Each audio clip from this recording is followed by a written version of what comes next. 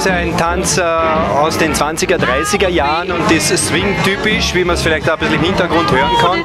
Don't move it, now boogie some more. You're a good rockin' daddy. Yes, you're a good rockin' daddy. Das ist ein Tanz, der irrsinnig Spaß macht, weil bei der Swing-Musik, wenn man die hört, dann äh, kann man nicht stillhalten, da geht der Körper einfach mit und ich kann jedem nur empfehlen, sich anmelden und mitzumachen. Es wird eine spaßige Sache werden.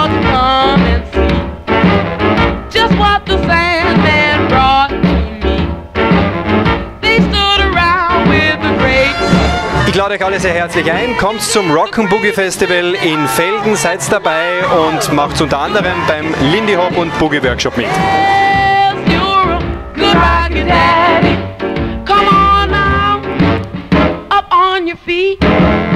You can't be beat. You're a good daddy.